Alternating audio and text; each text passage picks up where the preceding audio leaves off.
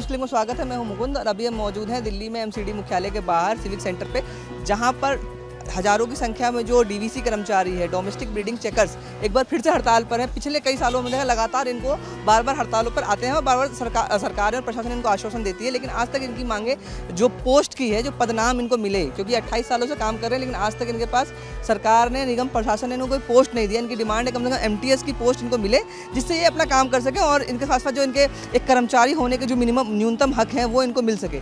अभी एक बार जैसे कि हम जान रहे हैं, दिल्ली में डेंगू का प्रकोप फिर से बढ़ रहा है। बाढ़ और बारिश के बाद से डेंगू मलेरिया का खतरा बढ़ गया। ऐसे में इन कर्मचारियों का हड़ताल पर जाना बेहद खतरनाक है दिल्ली शहर के लिए। इसलिए सरकार और प्रशासन को गंभीरता से इनकी मांगों को देखना चाहिए और ख़ास तौर पे जिस तरह के रवैया कर्मचारियों से बातचीत पता चला है इन्होंने पिछले 20 दिन पहले नोटिस दिया था हड़ताल का, लेकिन प्रशासन की तरफ़ से कोई वार्ता का आमंत्रण या वार्ता में कोई सकारात्मक बातचीत होती नहीं दिखी है। इसीलिए इनको हड़ताल पर जाने को मजबूर होना पड़ा है। सुनिए कर्मचारी यूनियन के नेताओं ने और कर्मचारियों ने क्या कहा है। पहले कहते थे जिसके 300 दिन पूरे कर लिए, उसको परमानेंट कर दिया जाता था।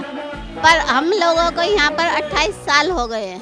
28 सालों के बाद भी यहाँ पे हमें परमानेंट तो क्या, अभी तक हमें कोई पोस्ट भी नहीं दी गई। 28 वर्ष जो है ना, ये एक तो सर्विस का पीरियड बहुत छोटा नहीं, बहुत लंबा पीरियड है।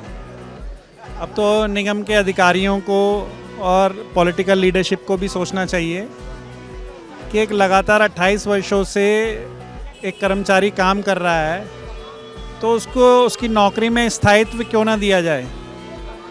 अभी ऐसे भी कई इनके बीच में से ही कर्मचारी हैं, जिनकी डेथ हो गई ऑन ड्यूटी और कई हर साल जो है कई लोग रिटायर भी होते जा रहे हैं। तो ना तो उनको रिटायरमेंट का बेनिफिट मिल रहा ऑन ड्यूटी डेथ हो जाती है, उनको मुआवजा नहीं मिलता। तो कानूनी प्रावधान तो हैं मगर निगम के अधिकारी प्रशासन उसको लागू करने के लिए तैयार नहीं है। अब से पहले डीबीसी कर्मचारियों को इलाज की सुविधा तक नहीं मिल रही थी। अब हमने बहुत संघर्ष करके ईएसआई की सुविधा लागू करवाई है लेकिन उसमें भी कुछ गड़बड़ें चल रही हैं वो भी सही ढंग से अभी तक नहीं मिल पा रही है हम कर्मचारियों को। पिछले साल भी हमारी हड़ताल थी डेढ़ साल पहले जो हमारी हड़ताल हुई वो हड़ताल के अंदर एक सहमति बनी निगम के अधिकारी निगम के अधिकारी के द्वारा और एम साहब कमिश्नर साहब, सारे अधिकारी उसके अंदर बैठे। और उसमें एक सहमति बनी, जो ऑर्डर बना कि आपको M T P H public health का दे दिया जाएगा। बाकायदा ऑर्डर ला होते लेकिन डेढ़ वर्ष में लगातार निगम के अधिकारियों पे, मेयर साहिबा के, लगातार हम चार बार मौखिक रूप से और दस पत्र दे चुके हैं, लेकिन हमारी सुनवाई नहीं हो रही है। हाँ ये आश्वासन दे देते हैं और कुछ नहीं करते। आश्वासन दे देते हैं, कुछ नहीं सोचते। देखो अब वो जो कुछ करेंगी तो वो तो आपके सामने है सब। जो करेंगे तो अच्छी बात है वो कर दें हमारे लिए। निगम प्रशासन हमें अपना कर्मचारी ही नहीं समझता। वो कहते हैं कि आप हमारे कर्मचारी हैं ही नहीं। आपकी कोई पोस्ट नहीं है जो हम काम करते हैं उसको बोलते हैं DBC is a work not post जी हम लोग यहाँ पे उन्नीस सौ छियानवे सत्तानवे से काम कर रहे हैं बिना पदनाम के काम कर रहे हैं। अभी तक हमें एक संवैधानिक पोस्ट तक नहीं दी गई। हमारा काम तो बहुत ज़्यादा ज़रूरी है क्योंकि हम लोग ऐसे हैं जो हर घर के अंदर जाते हैं, हर घर की किचन तक हम लोग जाते हैं। छत तक जाते हैं, टंकियाँ तक हम उनके चेक करते हैं। ये और कोई कर्मचारी ये काम नहीं कर सकता है, जो काम हम डीबीसी कर्मचारी करते हैं। डेढ़ साल होने के बाद भी वो हमें पद नहीं दिया जा रहा। उसके लिए हम हड़ताल पर आए और जब तक हमारा मांग नहीं मानी जाएगी, अनिश्चित हड़ताल पर उठे, कल से हम भूख हड़ताल पे हैं, हमारे प्राण चढ़ जाए, लेकिन हम यहाँ उठने वाले नहीं हैं। वैसे तो डीबीसी कर्मचारियों को दिल्ली में डेंगू, मलेरिया, चिकनगुनिया जैसी बीमारियों को रोकथाम करने के लिए लगाया गया था उन्नीस सौ छियानवे में। लेकिन समय समय पर इस डिपार्टमेंट को जहाँ भी हमारी ज़रूरत पड़ती है, वहाँ हमसे काम लिया जाता है। हमारे डीबीसी कर्मचारी काफ़ी पढ़े लिखे हैं और उन्होंने हाउस टैक्स में भी काम किया है वोटिंग ड्यूटी में भी काम किया है, स्वच्छता सर्वेक्षण में काम किया है, और बिल्डिंग डिपार्टमेंट में मतलब जहाँ पे भी डीवीसी कर्मचारी की आवश्यकता होती है, वहाँ पे इन्हें लगा दिया जाता है, और हर साल ये, हर जगह बड़ी ईमानदारी से काम करते हैं हाउस टैक्स वगैरह में।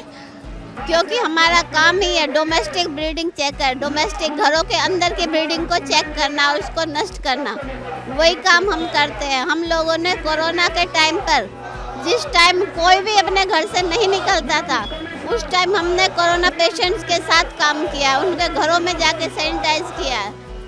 मरे हुए जो डेड बॉडीज पर हमने सैनिटाइज किया है, जहाँ जहाँ पे उनके अपने जो घर परिवार वाले होते थे, वो नहीं जा सकते थे, वहाँ पे हम जाते थे। हमने ऐसे कठिन समय पर काम किया है। उस समय हमारे लिए तालियाँ बजाई गई, थालियाँ बजाई गई। हमारे ऊपर फूल वर्षा की गई। पर अब ये इन्हें ये नहीं पता कि वही कोरोना योद्धा कैसा है। उसके घर का क्या हालचाल है?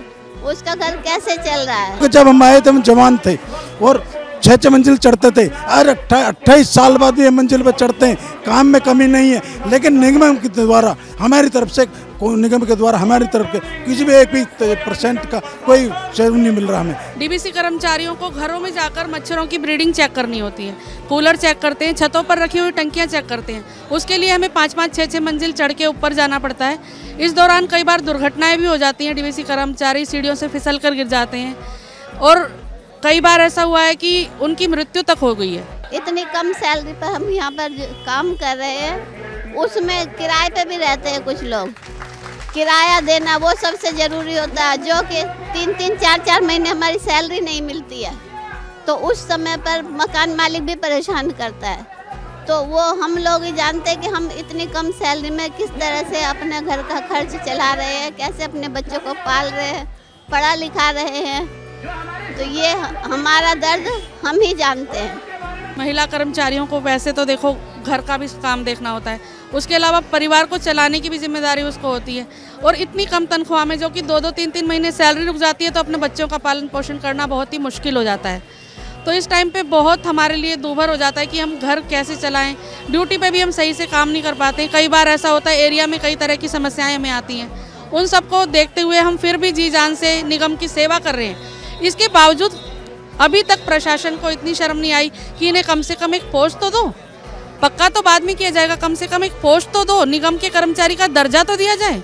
कुछ भी बदलाव नहीं। कर्मचारी को टर्मिनेट किया जा रहा है। कर्मचारी को चेक किया जा रहा है। उसको धमकी जा दी जा रही है और कर्मचारी के पीछे कर्मचारी काम मना नहीं कर रहा।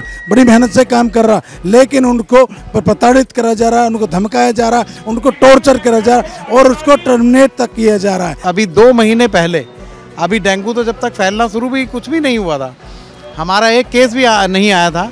तो उन्होंने हमें दो महीने पहले हमने एक लेटर दिया था यूनियन के द्वारा कि कर्मचारी में रोष है, आप ऑर्डर का इम्प्लीमेंट नहीं कर रहे हैं तो आप उस ऑर्डर को इम्प्लीमेंट कर, उसकी कार्रवाई शुरू करें। लेकिन उन्होंने उस पर कोई कार्रवाई शुरू नहीं की। हमने 20 दिन पहले फिर हड़ताल का नोटिस दिया है, उसके बीच में उन्होंने कोई बातचीत नहीं की, जिससे कर्मचारी करे तो क्या करे? यानी निगम ने खुद कहा, आप जाइए और हड़ताल करिए।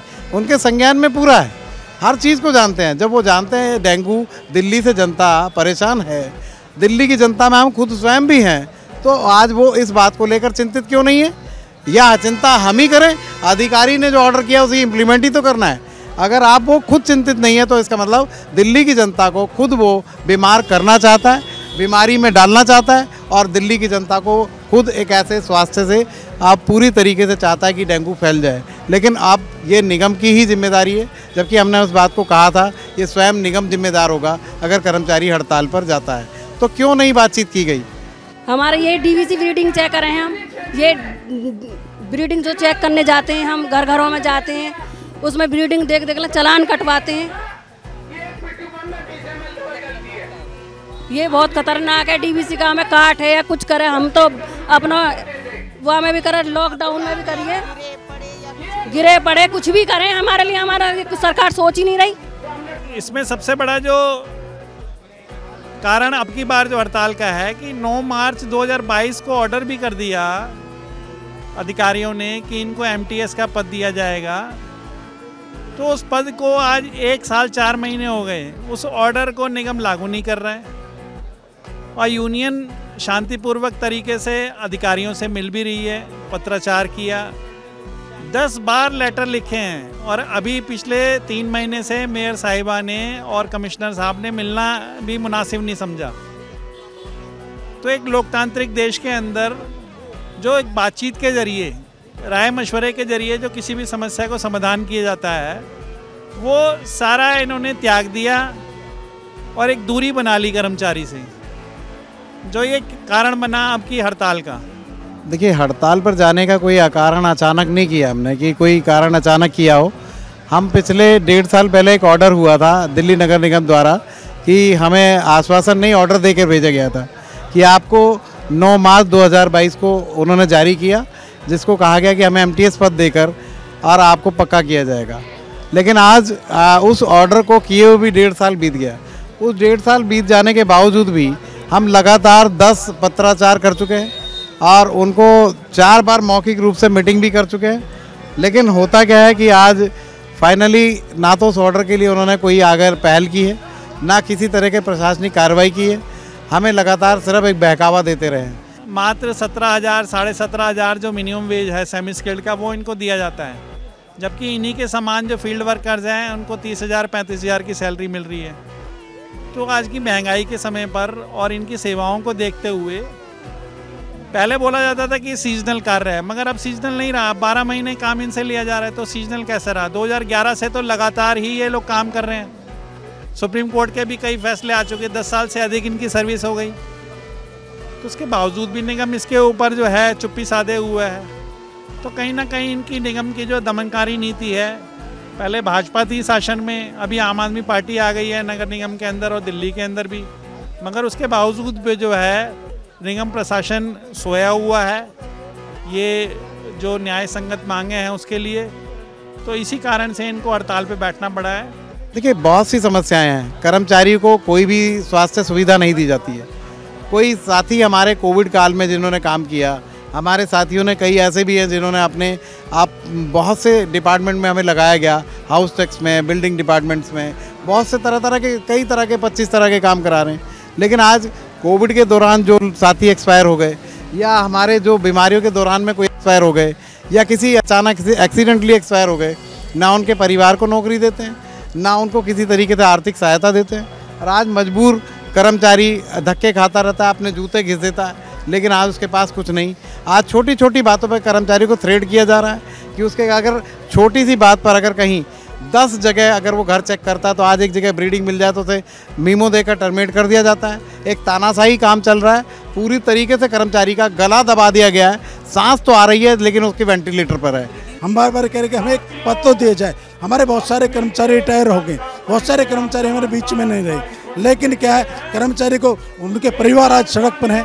लगातार रो रहे हैं और हम ये कह रहे हैं कर्मचारी रिटायर हो रहा है। अट्ठाईस साल बाद भी एक रुपया नहीं दिया जा रहा भाई ये कह दिया जा रहा, कल से नहीं आना आपको। नहीं, अगर बाई चांस की नज़र से कोई इतने बड़े घर में पाँच मंजिल चेक कर रहा है, कोई चूक जाती है, एक जगह चूक गया तो उसको मीमो मिलेगा। आप दस लोग चेक करते हैं, कर्मचारी एक चेक करता है। अगर उसको कहीं पर एक ब्रीडिंग अगर बाई चांस मिल गई, उसकी सुपरविजन चेकिंग में तो आपका उसको मीमो देकर सीधा टर्मिनेशन किया जा रहा है। एक 28 साल बाद उसकी नौकरी को ख़त्म किया जा रहा है। तो आज कर्मचारी बहुत एक मानसिक दबाव में भी जी रहा है और उसको दबाव लगातार ऐसे भी बनाए जा रहे हैं कि 311 एक ऐप आई है कि ऐप लोड कीजिए, आपने फ़ोन खरीदिए, चाहे किसी भी तरीके से फ़ोन लाकर आप, हम सोलह हज़ार की तनख्वाह में क्या क्या खरीदेंगे? आपने परिवार को नहीं पाल पा रहे हैं, आपने पेट में दो रोटी नहीं दे पा रहे हैं, लेकिन आज वो कह रहे हैं कि हमें एक फ़ोन खरीदिए, आप पाँच से दस हज़ार का फ़ोन आ जाएगा, उसको खरीद के उसमें तीन सौ ग्यारह पर कर्मचारी निगम का काम करे। निगम का काम हम क्यों करें अपने फ़ोन पर? क्या हक है कि हम निगम के काम के लिए अपने फ़ोन खरीदेंगे? निगम हमें खुद फ़ोन दे। निगम फ़ोन देगा हम काम करने से मना नहीं कर रहे हैं। फ़ोन देगा उसमें काम भी करेंगे उसके लिए डाटा की फैसिलिटीज़ भी दे। नहीं प्रशासन अगर कहता है कि हम काम नहीं करते तो ठीक है हम बैठे हैं हम नहीं कर रहे काम। अब अब प्रशासन करवा ले काम जो काम करता उससे करवा ले। हम तो करते नहीं तो हम तो बैठ गए आराम से हम कर ही नहीं रहे। ये कार्यक्रम लगातार चलेगा। अनिश्चित काल चलेगा जब तक हमारी मांग को मान नहीं लिया जाता। हम तो ये कह रहे हैं, बस और क्या कहना, हमें भाई पक्के कर दो, बस इतना है। यहाँ हर साल बैठे हैं अच्छा थोड़ी लगे।